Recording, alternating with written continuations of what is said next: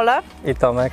E, Po ślubie zamiast mieszkania kupiliśmy sobie vana, w którym mieszkamy e, tak naprawdę na pół etatu. Pracujemy tutaj, żyjemy sobie, zwiedzamy, surfujemy. Jesteśmy z Polski, ja jestem z Podkarpacia, Tomek z Zakopanego. E, Poznaliśmy się w Krakowie na studiach na niemieckim, Dokładnie. więc to nie jest jakaś romantyczna historia. No ale tak sobie idziemy razem przez świat od 7 lat.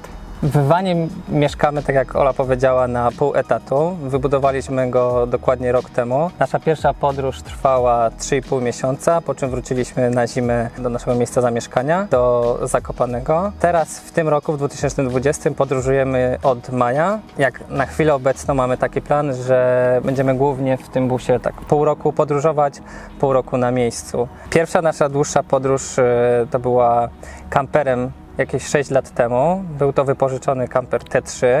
E, Przejechaliśmy Europę przez dwa miesiące.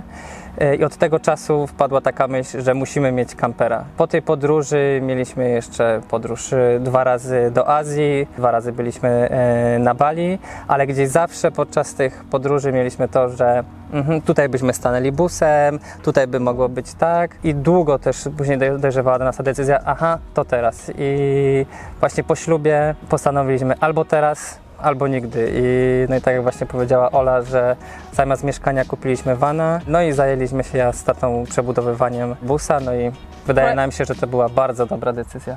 Projekt był mój, Projekt był Oli, wykonanie nasze. dokładnie.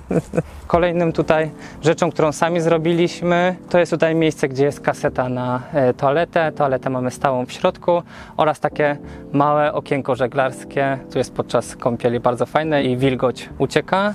No i małe okienko w salonie. Więc na zewnątrz to jest wszystko, co tutaj zrobiliśmy sami. Samochód, który przerobiliśmy jest to Peugeot Boxer L4H3, czyli jedna z największych bud do przerobienia. Model z 2016 roku, 120 bądź 130 koni. E, Jak do tej pory idealnie wystarcza. Nawet przy swojej wadze e, gdzieś tam jakieś większe górki nie były dla niego żadnym problemem. Chciałem Wam pokazać jak wygląda bus z zewnątrz, więc jak tutaj widać mamy dwa halogeny które e, są bardzo fajne, jeśli siedzimy ze znajomymi wieczorem. Na górze mamy trzy solary, każdy ma 100, po 160 e, watów. Wystarcza nam energii, pracujemy cały czas z żoną, więc ta energia jest nam bardzo potrzebna. I jak na chwilę obecną jest e, rewelacyjnie. Markiza przydaje się podczas deszczowych dni, kiedy chcemy posiedzieć sobie na zewnątrz, albo kiedy jest za gorąco, kiedy potrzebujemy trochę e, cienia. Tutaj mamy komin, od trumy. Mamy trumę boiler gazowy 20 litrów na ciepłą wodę. I tutaj na dole mamy e, zbiornik na szarą wodę. Jest to specjalnie dedykowany do tego typu samochodów. Ma on bodajże 93 litry. Tutaj przekręcamy, szara woda się zlewa, zakręcamy i jest wszystko ok. Z tyłu naszą przeróbką tutaj było takie okienko, które, e, które jest e, widoczne z łóżka. Można sobie bez problemu oglądać gwiazdy albo zobaczyć, czy ktoś przypadkiem nie zagląda. Zobaczcie, jak wygląda nasz garaż. Łóżko specjalnie zamontowaliśmy na dość dużej wysokości, żeby mieć miejsce na rowery. E, lubimy jeździć na rowerach, szczególnie na kolarkach. Tu więc tutaj mamy e, dla nich miejsce. Tutaj po lewej stronie jest zbiornik na czystą wodę. Około 95 litrów jest to typowy zbiornik do tego typu samochodów na nadkole. Tutaj te kable, które wystają, to są czujniki poziomu e, wody. Po prawej stronie mamy takie nasze małe gratowisko, czyli drabinka. Jak trzeba odpiąć deski surfingowe, maty do ćwiczeń, tutaj są płetwy. Po prawej stronie mamy centrum dowodzenia, jeśli chodzi o prąd. Z tyłu są dwa akumulatory po 100 amperów każdy, są to litowo-jonowe. Tutaj jest zasilacz awaryjny wraz z prądnicą. Tam tego niestety tutaj nie będzie widać, ale jest cały system do zarządzania energią, którą czerpiemy z paneli słonecznych. Tutaj widać jak wygląda właśnie truma, która podgrzewa nam wodę. Naprawdę jest to bardzo małe i bardzo wydajne urządzenie. I z tyłu mamy e, 11-kilogramową butlę gazową, którą która właśnie jest podpięta do trumy. Akumulatory w e, naszym busie ła- ładujemy jakby z trzech źródeł. Pierwsze źródło główne to są solary, drugie to jest jak jedziemy samochodem, e, to ładujemy przez alternator, a trzecie to jest sieci, gdzie jesteśmy albo na kempingu, albo na takich miejscach do tego specjalnie przystosowanych. I tutaj, żeby nie wiercić w karoserii, wykorzystaliśmy budowę samochodu. Tutaj mamy taką dziurę, gdzie po prostu mamy wtyczkę, przedłużacz i ładujemy nasze akumulatory. Tutaj mamy jeszcze taki e, stolik zewnętrzny. Możemy go sobie otworzyć i albo zostawić zimne piwko, albo jak gotujemy, to tutaj też jest jeszcze większe miejsce do pracy. Tego busa budowaliśmy 3 miesiące. Ja budowałem go głównie z tatą. Mieliśmy tutaj pomoc na przykład od mojego brata albo od znajomego elektryka, ale większość zrobiłem e, ja z tatą. Tutaj projekt jest Oli, więc tak jak to wygląda wizualnie, to wszystko jest e, jakby zaplanowane od Oli, ale technicznie to my robiliśmy i jak tylko wybudowaliśmy busa, to następnego dnia spakowaliśmy się i wyruszyliśmy w podróż, bo już nie mogliśmy się po prostu doczekać. W trakcie budowy największym wyzwaniem było przede wszystkim to, że robiliśmy to po raz pierwszy. I każdy dzień to było wyzwanie, każdy dzień to były jakieś różne problemy do rozwiązywania, ale to też nas nauczyło dużej cierpliwości i takiego faktu, że nie ma rzeczy niemożliwych. Naprawdę, można zrobić wszystko, co się chce przy pomocy YouTube'a, przy pomocy własnego, własnej głowy i naprawdę wszystko jest możliwe, tylko trzeba chcieć i trzeba być cierpliwym i dążyć do celu.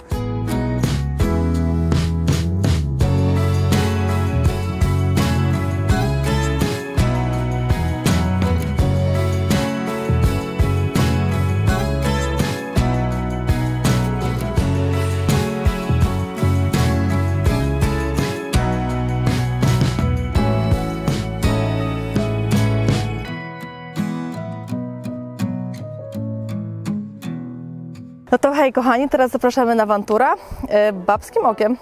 Come on. Słuchajcie, zaczynamy od kuchni. Więc tak, tu mamy dwa palniczki, w zupełności wystarczające. E, Blacik kuchenny, zlewik taki w tym stylu. E, I bardzo mi się podoba właśnie klimat kraju, w którym jesteśmy, czyli taki portugalski. E, Stąd właśnie płytki, a dokładnie ich prototyp powiedzmy, ponieważ są naklejki. I chcieliśmy obciążać dodatkowo kampera, plus baliśmy się, że będą pękać. Mamy uchwyty portugalskie, mamy woreczek na warzywa i owoce, tak żeby się mm, nie spociły i miały cały czas tlen. Dodatkowo mamy bardzo fajną rzecz, którą polecamy. Jest to przybornik do przypraw. Kłóce kupione również w Ikei, podobnie jak ten worek.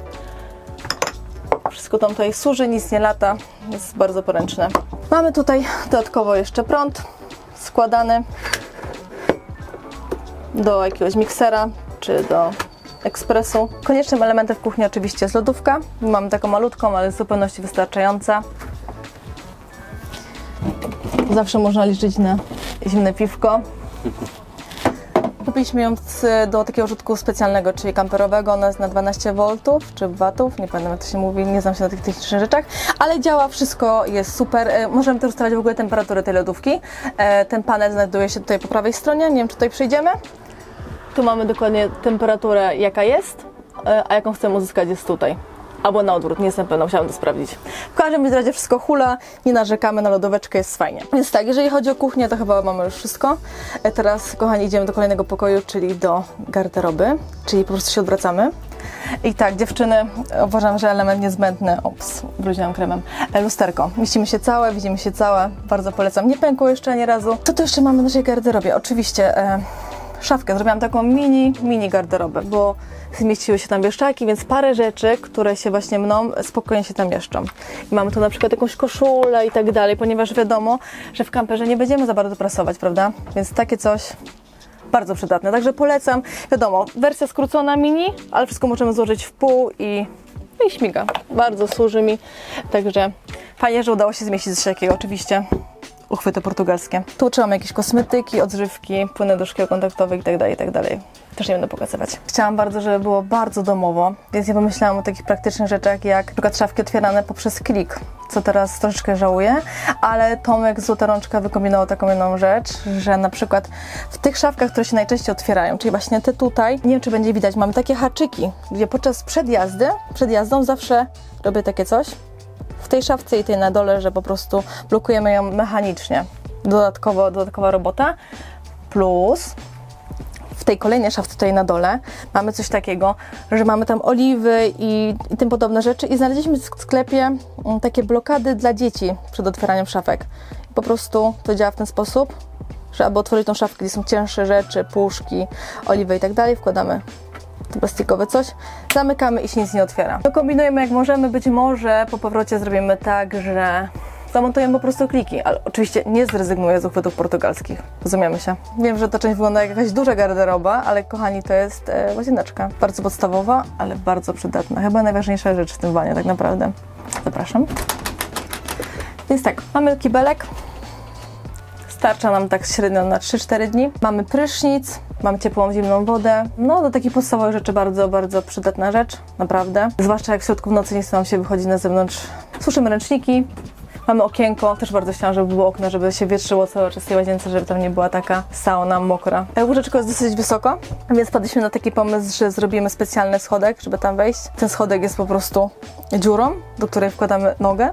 I wygląda to w ten sposób, że wkładam tą nogę, siadam na łóżko i jestem. E, I co?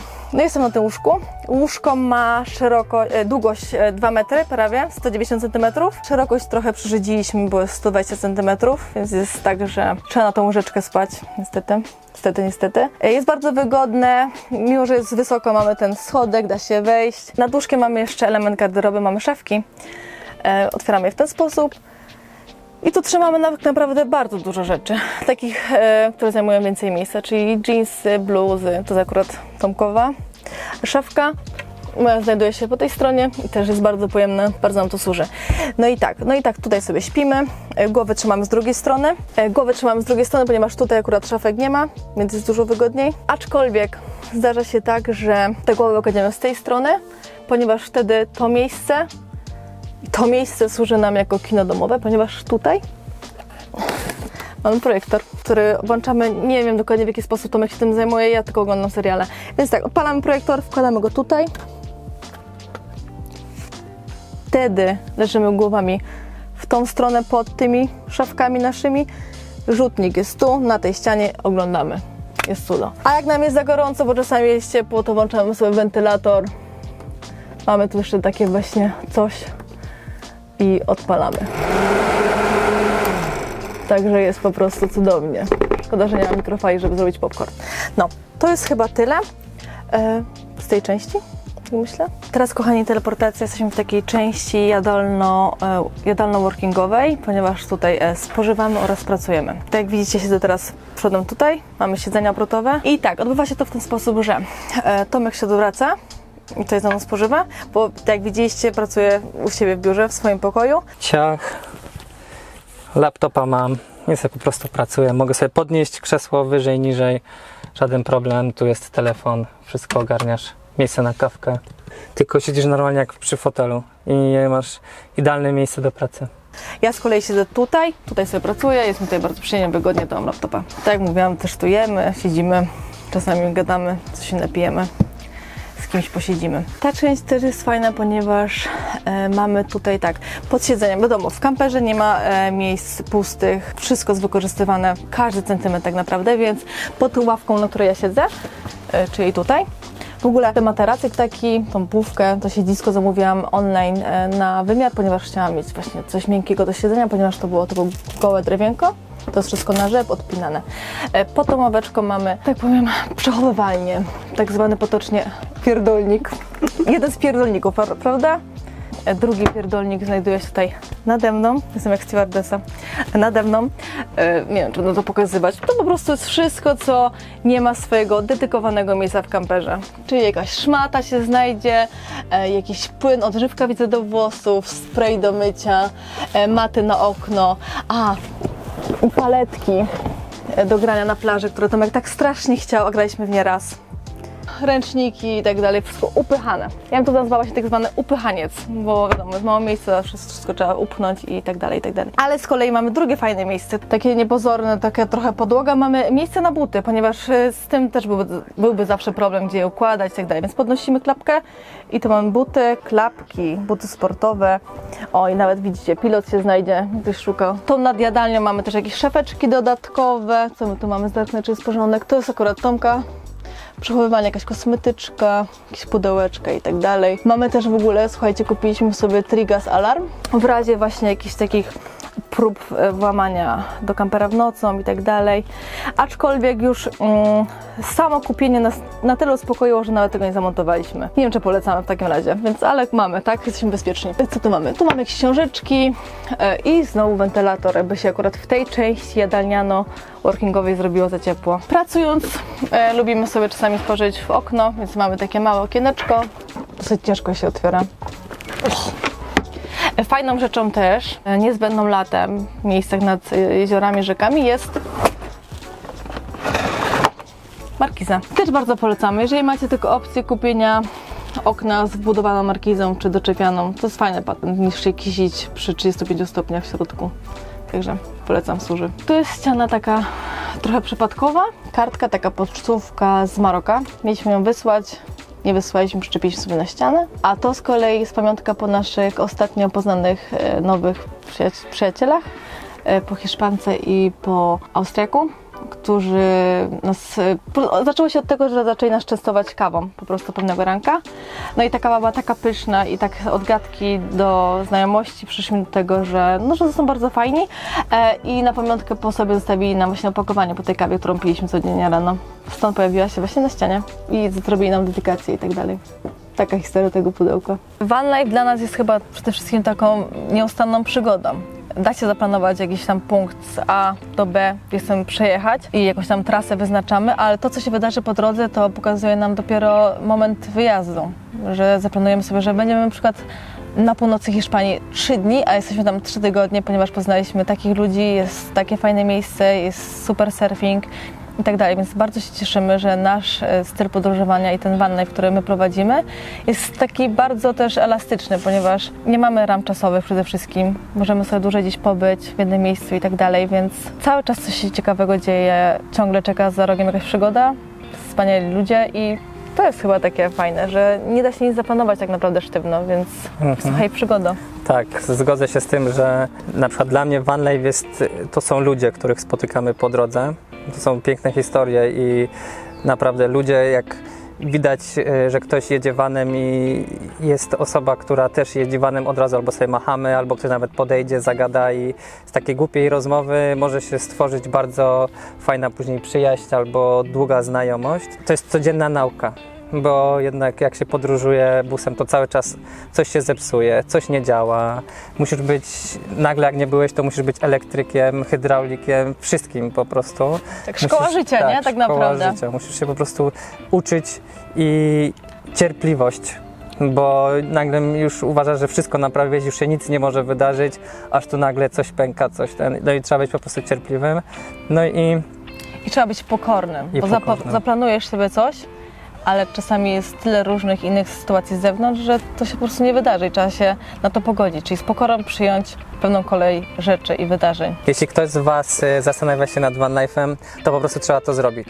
E, moim zdaniem bardzo fajnym pomysłem jest na początek nawet sobie wynająć takiego vana na 2-3 tygodnie, zrobić sobie pierwszą podróż po Europie i sprawdzić tak naprawdę, co mi się podoba, co mi się nie podoba, bo to nie jest też dla wszystkich, bo to na Instagramie wygląda pięknie, ale niestety to do końca nie jest aż tak zawsze kolorowo i bajkowo, ponieważ często pada deszcz, nie ma co robić, albo, albo tak jak mówiłem wcześniej, coś się zepsuje, trzeba to naprawiać, albo są jacyś niemili ludzie, albo cię wyrzuci ktoś z miejsca, gdzie zaparkowałeś, albo jak nie masz prysznica, no to musisz szukać tego miejsca, więc jest dużo też przeciwności. Zanim ktoś sobie kupi i zacznie budować na tej takiej fali, która jest teraz, to zawsze mówię każdemu, najpierw spróbuj. Lepiej wydać to nie wiem, 2-3 tysiące złotych, żeby po prostu przejechać się, zobaczyć, bo to nie zawsze musi być dla ciebie, bo no tak jak powiedziałem, no są różne sytuacje w życiu, więc to jest taka moja główna rada, a jeśli ci się spodoba, to idź w to, kupuj vana. Nie, nie każdy musi sam też przerabiać. To też nie jest tak, że każdy, jak już wszyscy przerabiają, to, to, to, to ja też muszę to przerobić. Jest dużo już na rynku do kupienia przerobionych samochodów, jest, y, są po prostu kampery nie takie jak ten van, tylko normalne z alkową, które też spełniają swoje zadania, więc tylko trzeba po prostu działać. W ogóle jeżeli chodzi o nasz van life, to on jest w dużej mierze uwarunkowany od e, miejsc e, na surfing. Można powiedzieć, że głównie jeździmy wzdłuż linii brzegowej, ponieważ parę lat temu zajęliśmy się surfingiem i to tak mocno. E, Na tym wyjeździe, który trwa teraz 3 miesiące, kupiliśmy trzy deski surfingowe. Więc e, po prostu łączymy surfa z van life'em. To jest dosyć istotne w naszym podróżowaniu, o czym wcześniej nie wspominaliśmy. I oprócz desek kupiliśmy w ogóle taką e, bajerancką książkę, to jest e, Biblia surfingu w Europie. Każdemu jest polecam. gruba, obszerna i bardzo szczegółowo wszystko jest opisane, na jakim spocie, w jakim kraju, gdzie można popływać, na jakiej, jakiej typu desce, czy na długiej, czy na krótkiej, więc zaraz może ją pokażemy. Jest bardzo fajna. To jest tak naprawdę nasza mapa naszych podróży. To tutaj e, mamy bardzo dużo Właśnie to różnych nasz możliwości. przewodnik podróżniczy. Tak, to jest nasz przewodnik i jak wjeżdżamy do danego kraju, to pierwsze co otwieramy tą książkę i szukamy miejsc, w których możemy się zatrzymać. Ona jest bardzo fajnie wydana, ze zdjęciami, z opisem, kiedy naprawdę e, można fajnie pływać, czy jest miejsce właśnie do zaparkowania. Więc e, jeśli ktoś myśli o takim surf tripie, to polecam się zaopatrzyć w tego typu książkę, bo naprawdę, naprawdę dużo ułatwia, nie trzeba szukać i ten czas, który się gdzieś e, by straciło na szukaniu, można wykorzystać na pływanie. Yo! Super, Szakalaka. mamy to. Dzięki. Dzięki, brawa. Mam nadzieję, że podobał Wam się dzisiejszy wantur i historia Oli i Tomka. To są fantastyczni ludzie, z którymi spędziliśmy chyba dwa tygodnie teraz ostatnio. E, możecie ich śledzić na Instagramie, nazywają się Nomandi. E, pod spodem, pod filmem wrzucam link do ich Instagrama. Warto, warto oglądać, warto śledzić, bo robią przepiękne zdjęcia, przepiękne widoki, piękne miejscówki zwiedzają. Cały czas surfują, cały czas się bawią, teraz jadą do Polski, będą tam jeździć po e, górach, po zimnym, zimowych stokach. Taka szybka informacja dla osób, które są zainteresowane life'em, moi drodzy. e, Warto zacząć swoją przygodę, tak jak Tomek powiedział, od wynajmu samochodu, ale również od przeczytania dwóch książek. Pier- Pierwszą książką to jest Wielki Wóz, czyli to jest nasza książka, która tłumaczy, jak przygotowywaliśmy się my do van life'u, nasze pierwsze miesiące podróży, e, jak to wszystko wyglądało, proces przebudowy, adaptacji, zapoznania się tak naprawdę z życiem w vanie. A druga książka to podradnik podróży samochodowych i van life'u, którą wydaliśmy niedawno z busem przez świat. Można ją zamówić w naszym sklepie skleppodróżowanie.pl. Jest to taka biblia podróży samochodowych i van life'u. Tam jest po prostu od A do Z wszystko wytłumaczone, e, jak zorganizować podróż, jak przetransportować samochód, y, gdzie, co pojechać, jak znaleźć wodę, także po prostu kompedium wiedzy e, o podróżach samochodowych. Możecie to zamówić na prezent, możecie dla siebie zrobić taki prezent. Wysyłam Was do sklepu skleppodróżowanie.pl. Dodatkowo, jeżeli kupicie poradnik podróży samochodowych, będziecie mogli wygrać kampera na tydzień. Po prostu na 3 tygodnie kamper do wynajęcia będzie można się przetestować i sprawdzić, czy właśnie VanLife jest dla Was. Więc wejdźcie sobie na naszą stronę, tam wszystkie informacje, pod filmem po prostu będą informacje do, o, o tym konkursie. Konkurs jest ważny, do, znaczy trwa do 31 grudnia, także jeszcze macie sporo czasu. Ja Wam bardzo dziękuję. E, Proszę o to, żebyście zostawili łapkę w górę, e, napisali komentarz, napiszcie jak Wam się podobał e, dzisiejszy odcinek, czy chcielibyście więcej wanturów. No chcemy wiedzieć po prostu jak Wam się to podoba. Dziękujemy bardzo, pozdrawiamy, do zobaczenia.